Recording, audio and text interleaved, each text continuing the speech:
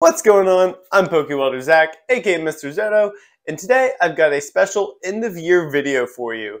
This is probably one of the coolest sculptures I think that I have made yet, and it is Bike Chain Lugia.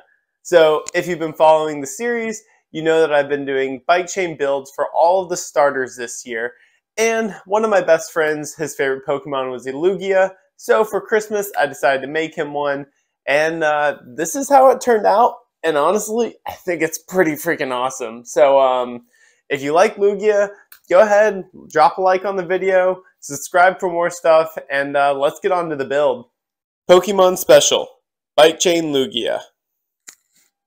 Alright, starting off with just the basic sketch here. Um, I had thought that this was actually going to end up being a lot bigger than it actually was, uh, but you can kind of see where I outlined each of the different parts. Uh, so for Lugia's base design, I use a uh, large chain for the head, neck, body, and tail. Uh, and then I have a lot of other different right, parts set out here part. for the uh, other I already have everything laid out here. No, uh, so starting in this, this upper corner, we have the wings, um, arms, start out with and the head the head here. has a four link for the eyepiece body. Uh, and then tracing down the um, body again. The main outline is a large single link. Over here, um, this was going to be the legs. There are going to be eight links with, some two links uh, on either side to make up toes. the feet and uh, toes. Uh, adding on there. Uh, then the spikes are all these, these sort of staggered uh, two links here, here, which I think in the future I might just simplify down to one link. The, hands, the, arms, uh, the wings, are a series finally, of descending sizes. The body, the body is an 8, 6, and 4, actually a 10, 6, and 4. Uh, and so those are each of the different components. So I'm going to quickly tack uh, all the different parts for the main body, uh, head, neck, uh, all just those joints, uh, since that is going to be the main thing that we build off. And then we will do the head piece as well, which is the uh, sort of diagonal looking four links. Uh, so that, since that's the easiest part, that's where we're going to start. Uh, tack each onto each side, and then also add those spikes onto the tail. Um, the next part is going to be adding the 10 link pieces onto the body. Uh, I kind of messed around here, had to use another chain for some support. Um, but I figured out the design that I wanted and I left a little bit of space down at the bottom, which is where the leg will fit in. So now I take the other tin link and I line it up on top of the one that I already welded, just so I can make sure that they have the same sh general shape and design. Uh, since they're going to be on opposite sides of the body, try to make them as close as I can. Uh, I think I did a pretty good job there. And so now we are going to add them onto the body and start filling it out. Uh, when you break it down, Lugia is actually kind of a big boy. Um, he's a lot like rounder. His his main body is a lot bigger than I initially thought it would be. Um, so to keep keep that roundness going, um, adding a six link that is you know not quite round. Uh, it's got a sort of flattish bottom on it, and that'll be the upper part of the torso. So you can already see it starting to shape up there. Uh, then we will be finishing off the main part of the body with some three links uh, that'll just go right there on top of the six. And again, that finishes out the body and sort of closes up that, that larger gap that was initially left there. All right, so we got the body. Now it is time to add the legs. So I actually added an additional three link down here onto the body um, when I was initially designing the legs. I did not. Uh, I thought that they would go in that gap, but it was just a little bit too much of a gap, and then kind of made the legs skinnier. So I added the additional three link in there, um, and then using these two eight links over here on the side, just kind of fidget them with them with them long enough to uh, get the design I want. And again, I only tacked the top part of this, so you can see the bottom part is loose, so I can continue shaping it up without that top part moving around. Once I got the design, I brought them back over to the side, uh, added those quick tacks, cleaned them up, uh, and then it'll now be time to um, add the additional toes, feet onto it. Uh, I guess if they were just the toes, I could have done singles at the end, but um, since Lugia does have a sort of wider foot as well in those three major toes, um, I thought the single links did a pretty good job of filling that role for it.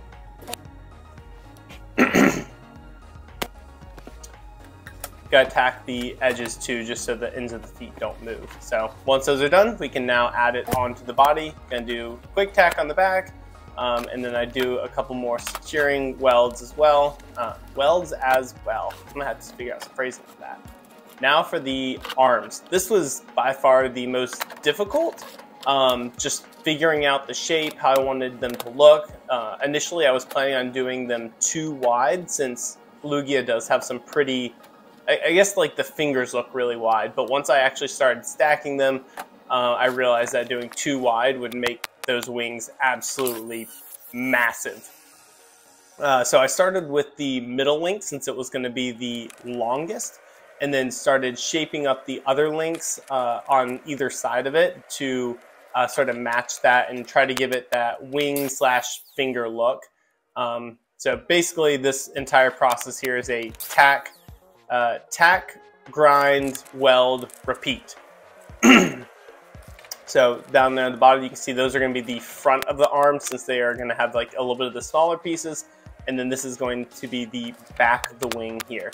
Uh, so once all those five pieces are uh, outlined, not outlined, uh, welded, I take the other five links and I lay them on top. Uh, again, this is so that I can make sure that the uh, all the links have the same look to them.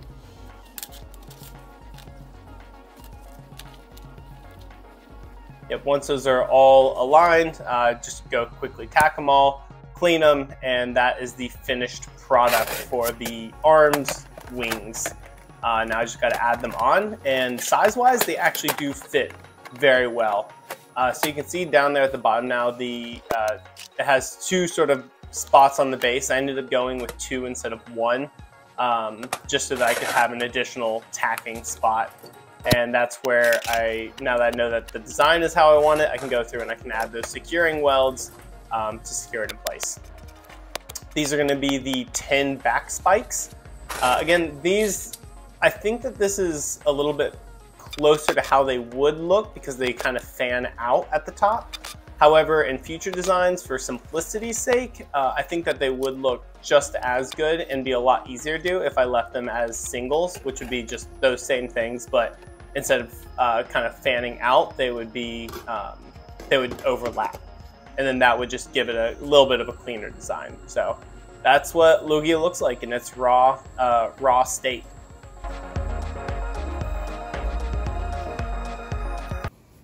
Oh hey, just a reminder that I've got some cool stuff over on Patreon. Pokemon of the Month, future projects, old designs, all sorts of cool stuff like that. If you want to go check it out, you can find it in the description below. While you're down there, make sure to like and subscribe if you like this content.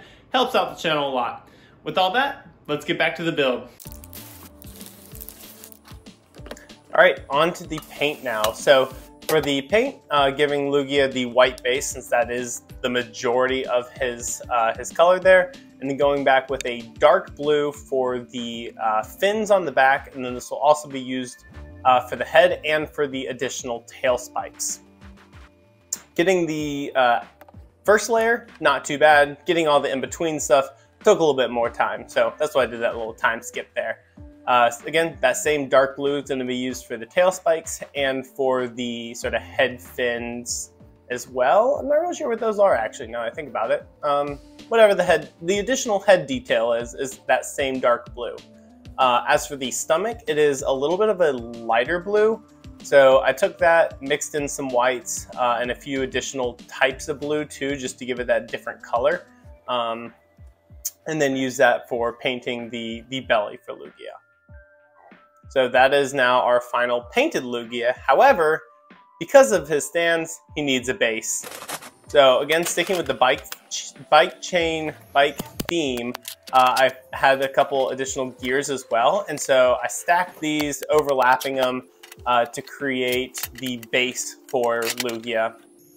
Now my goal here was to try and uh, make it somewhere between the sky and waves as well. And so with some of the bigger gears, uh, I ended up cutting them in half to use these uh, additional pieces here to try and kind of create waves. Um, that would be, you know, you'll, you'll see it here in just a moment here, but these are all the different parts here. Uh, so now I have all of those. I sort of line them out and this creates both waves and a cage. Uh, again, it is pretty abstract, um, but I did want to kind of give them that cool uh, sort of cage look as well. Um, and again, I couldn't try to, I couldn't figure out quite whether I wanted to go with more of the Guardian of the Sky, Guardian of the Sea. Oh my gosh, I can't talk. Um, and once I add the paint, you'll get to see where it's a little bit of a combination in between. Um, because I wanted to add some more details, I took some of the smaller gears, did the same thing, cutting them in half, and then welding them on the in-between spots between some of these larger ones.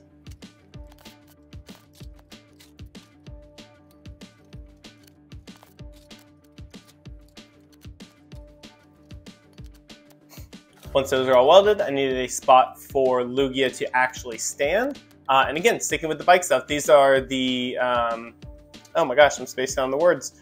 Uh, the, the things that are the, the spokes, there we go. We got our bike spokes. Uh, and I basically tried to weave these together to get sort of a unique abstract look and then tacked it on between the back two uh, gears so that he would have a light spot to be held.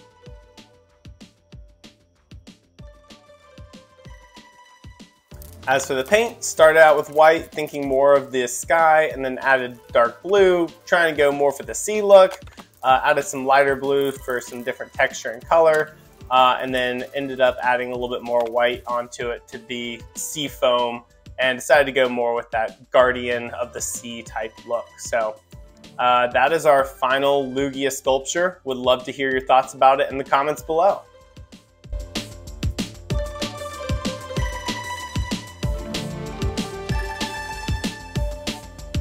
Thanks for sticking around for the end of year special. Hope you enjoyed watching Lugia come to life.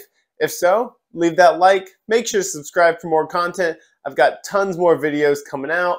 Uh, if you like this and you want to show some extra support, you can do so over on Patreon in the description below. And I will see y'all in the new year. Happy end of 2022 and beginning of 2023. Signing off with a Totodile smile.